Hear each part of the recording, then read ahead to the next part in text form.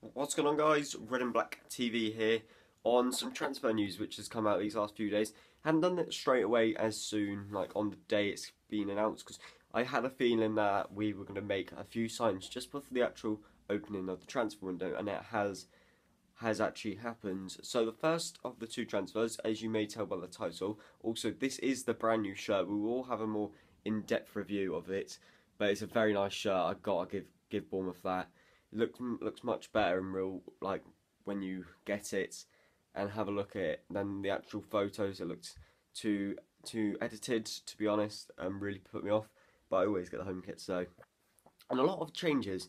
So we'll talk about that in a later video later on today. But the one thing what we want to talk about is the two new signings. So the first one is Jermain Defoe on a free transfer. It, this one was a one which was taking a long time to go through. There was a lot of controversy whether Bournemouth were willing to pay the signing on fees of around 8 million for a bonus signing on fee just because it was going to be a free transfer and it's a three year deal which is the one negative and the con that I take from this deal. I think three years is probably a bit too much. Jermain Defoe already at 34 years of age maybe could be a very very bad mistake for Bournemouth I think the first year will be very good. I feel like he will put in a lot of goals. Second year, maybe still carrying on, but dropping off. He did was a bit of a lack of scoring form at the end of last season. And third season, I feel like it's just going to be a little bit of a waste then. Uh, that's only a personal preference and a prediction, but we all have our own views. But Jermain Defoe, absolutely incredible signing. I was over the moon when we found out he signed. But even better, on the next day, who saw this coming? Nathan Ake in the morning. It was a very, very um, weird way to announce Nathan Ake joining.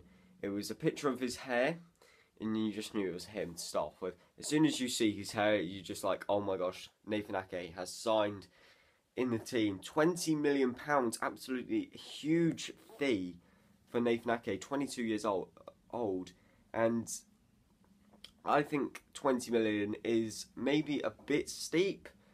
A lot of people have said that, but in the future, he could become a very, very good centre back for any team in the Premier League or in uh, any other league. And I feel like we will be able to make quite a bit of money off him in the future. Not like 60 million sale, but I've st- I I have hope because Nathan Ake was a key player um, in our season when he started his his goal scoring form and like his amazing Bournemouth form at Stoke City, but after getting recalled, it's just he will slot straight into the first team. Same with Jermain Defoe. Both of them are going to be key assets, and I've got to give it to Bournemouth.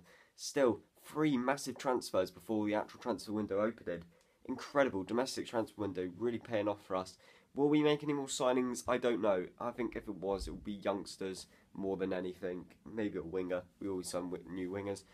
But yeah, what do you guys think? Put down in the comments down below. Nathan Ake, for 20 million. Jermain Defoe on a free transfer. Absolutely incredible. But I've been Matt from Red Black TV. Hopefully we'll have some more transfers coming out these next few days. Um, yeah, so I've been Matt and I'm out.